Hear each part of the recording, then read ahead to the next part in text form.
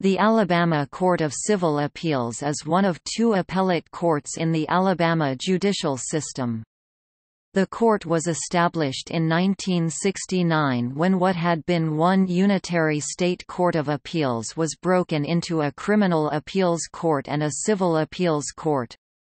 The Unified Court of Appeals had been operative since 1911. The court is currently housed in the Alabama Judicial Building in Montgomery, Alabama.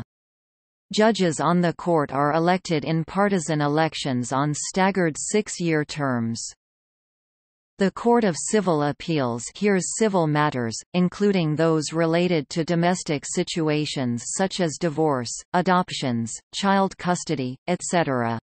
They will rule on cases appealed from certain state administrative agencies, such as workers' compensation.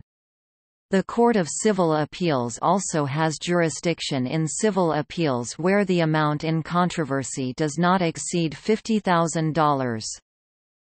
The Court of Civil Appeals has jurisdiction of all appeals from administrative agencies in which a judgment was rendered in the circuit court. The court also exercises jurisdiction over appeals in workmen's compensation cases and domestic relations cases, including annulment, divorce, alimony, child support, adoption, and child custody cases. The clerk of the court is Rebecca C. Oates.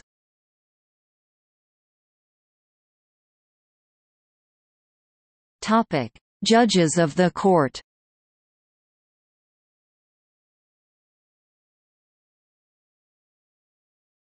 Topic: Election of judges. Judges are elected to the court in statewide partisan elections for six-year terms on the court. However, the governor may fill vacancies should they occur during a term of office. On November 6, 2012, Judge Tommy Bryan was elected to the Alabama Supreme Court and upon his resignation, Governor Bentley appointed Tuscaloosa Circuit Judge, Scott Donaldson to the seat on January 15, 2013. The other four judges came to their positions through election. By statute, the senior judge of the Civil Appeals Court serves as its presiding judge. William Thompson, is the presiding judge. He was first elected in 1996, when he was only 34 years old. Judge Thompson is today the longest serving of any statewide judge in Alabama.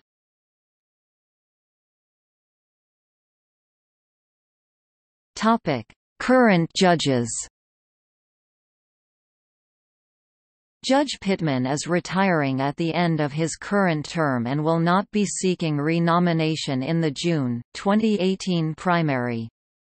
As of September 18, 2017, there are two announced candidates for his seat, Michelle Thomason, the presiding district judge of Baldwin County and Christy Edwards, a judge on the Alabama Tax Court. Both women will be seeking the office as Republicans. Topic: Qualifications. To serve on the court, a person must be licensed to practice law in the state of Alabama and have 10 years practice experience as a lawyer. Have resided in the state for a minimum of one year. Be no more than 70 years of age at time of appointment or election.